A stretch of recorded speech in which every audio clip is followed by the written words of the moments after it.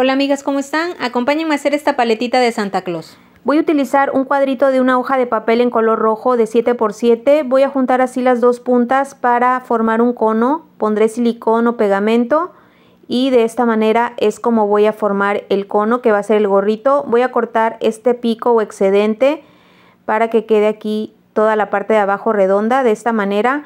Lo siguiente es que con un cuadrito de papel china de 10 x 10 voy a forrar la paleta yo lo estoy utilizando en un tono rosa clarito. Voy a apretar muy bien aquí abajo. Podemos ponerle aquí también una gotita de pegamento para que quede ahí ya fijo, aunque enrollándolo también ahí queda. Bueno, voy a poner aquí silicón dentro del gorrito en la mera orilla y lo voy a acomodar sobre la paleta de esta manera.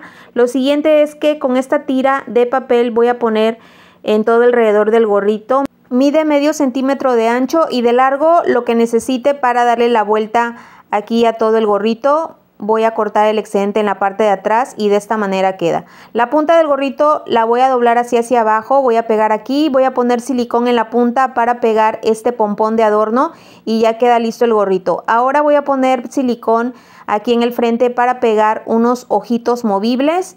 Y para la barba voy a utilizar un pedacito de algodón, algodón normal, el que venden en el súper o en la farmacia. Voy a acomodarlo aquí en los costados y en la parte de atrás de esta manera así es como lo voy a pegar. Así que voy a poner silicón aquí abajo del gorrito en los costados y un poquito en la parte de atrás. Y lo voy a empezar a acomodar de esta manera para formar así la barba. Aquí lo voy a estirar en la parte de atrás para tapar toda la paleta. Y bueno ya queda aquí lista la barba. Ahora con otro pedacito de algodón voy a enrollarlo así un poquito de esta manera y después lo voy a doblar a la mitad hacia abajo para formar los bigotes. Pondré aquí una gotita de silicón y los pegaré ahí abajo de los ojitos de esta manera. Por último voy a pegar aquí en medio de los bigotes un pompón pequeño y ya de esta manera queda lista la paleta de Santa Claus. Espero que les haya gustado amigas, no olviden compartir y nos vemos en la próxima.